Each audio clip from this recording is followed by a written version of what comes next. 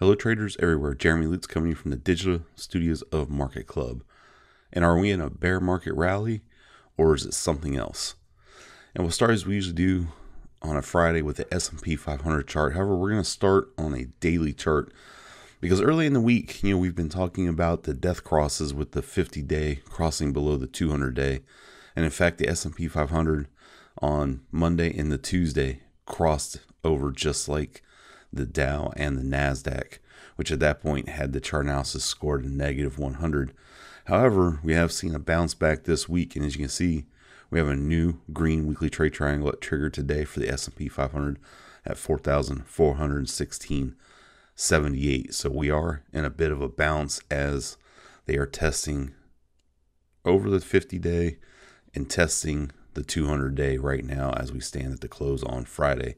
However, we'll go ahead and turn that off real quick and we'll change this back to a weekly chart.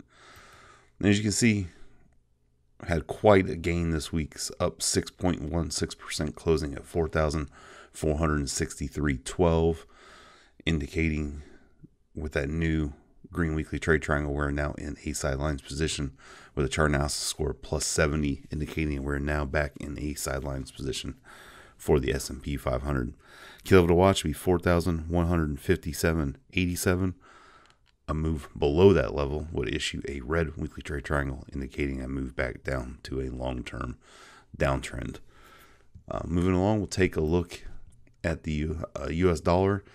As the major three indexes are up on the week, the dollar index is down almost 1%, trading at 98.23. However, chart analysis score remains plus 85 indicating that overall we're still in a long term uptrend for the US dollar. Key level to watch would be 96.77.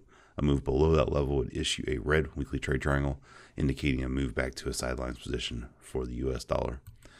Take a look at the Dow Jones up uh, 5.5% on the week, closed trading at 34,754.93 pushing the chart now. So scored a plus 70, indicating that we are now in a sidelines position based on a new green weekly trade triangle that I'll show you here on the uh, daily chart triggered on the 17th yesterday at 34,179.07.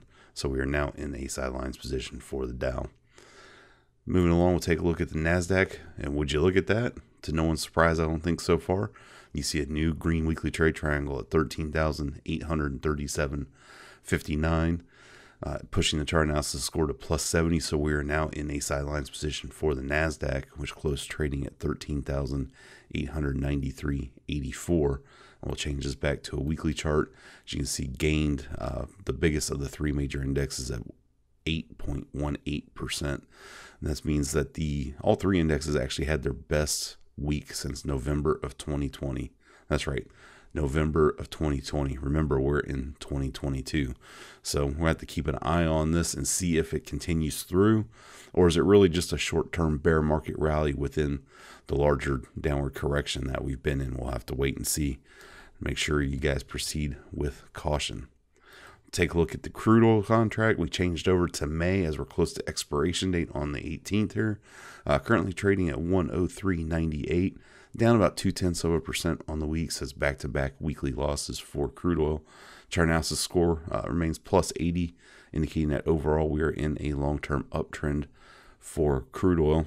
Level to watch would be uh, 90, uh, 93.41. A move below that level would issue a red daily trade triangle, indicating a move to a short term sidelines position for crude oil. Take a look at gold, suffering a uh, little over 3.5% loss on the week, trading at 1,919.80 with a chart analysis score plus 55, indicating that overall we are in a long term uptrend, but the short term time frame we're in a sidelines position. Level to watch would be 1,946.20. A move above that level would issue a green daily trade triangle, indicating a move back to a long position in the short term time frame for gold. And we'll back out of here and take a look at Bitcoin. Uh, up about 3% on the day. However, chart analysis score remains negative 55, indicating that we're in a sidelines position for Bitcoin.